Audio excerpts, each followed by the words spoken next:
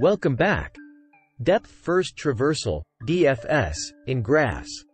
I'll explain it in a way a 10-year-old can understand. What is Depth First Traversal, DFS? Imagine you're on an adventure in a maze. And you want to find the exit as quickly as possible. Depth First Traversal, DFS, is like a strategy to explore the maze efficiently. How does DFS work? Here's how DFS works step by step. 1. Asterisk start at the entrance. You start at the entrance of the maze, a starting node on your map. 2. Asterisk go as deep as possible. Instead of checking all the paths around you, you pick one and go as deep as you can. It's like choosing a tunnel and exploring it fully before coming back. 3.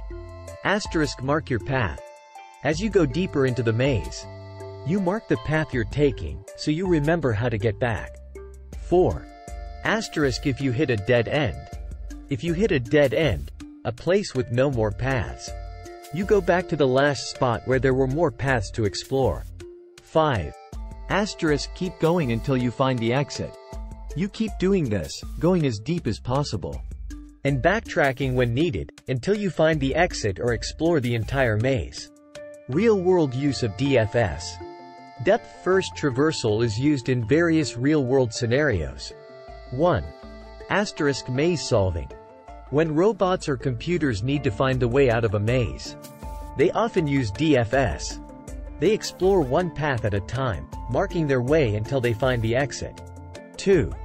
Asterisk game strategies. In games like chess, DFS can be used to explore possible moves and find the best one. It's like looking ahead to see what might happen next. 3. Asterisk file systems. When you search for a file on your computer, DFS can be used to explore the folder structure. It looks deep into one folder before moving to the next. 4. Asterisk puzzle solving. If you're trying to solve a puzzle, like a crossword, DFS can be used to try different answers step by step, going as deep as needed. So, think of DFS as a way to explore and find things by going deep into one path at a time, like exploring a maze or planning the next move in a game. It's a bit like an explorer diving deep into a jungle and backtracking when they reach a dead end. Mystery Master I